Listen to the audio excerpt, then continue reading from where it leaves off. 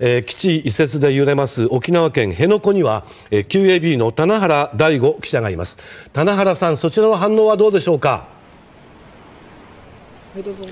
はい。私の後ろにはキャンプシラブが見えています。現在は工事をする様子は見えません。辺野古では連日いつ埋め立て工事が始まるのか警戒が強まっていたため工事停止の一報を受け市民たちからは喜びの声が上がっていました。ただ時間が経つにつれて政府がまた沖縄を騙そうとしているんじゃないか選挙対策ではないのかなどといった心配する見方も出ていました。また話し合いをしてもしそれが決裂した場合には再び工事が再開されはしないかと不安視する声も上がっています。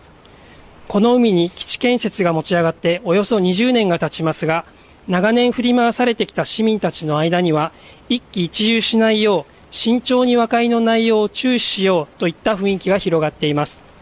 辺野古では市民たちが明日以降も座り込みを続け警戒を強めることにしています。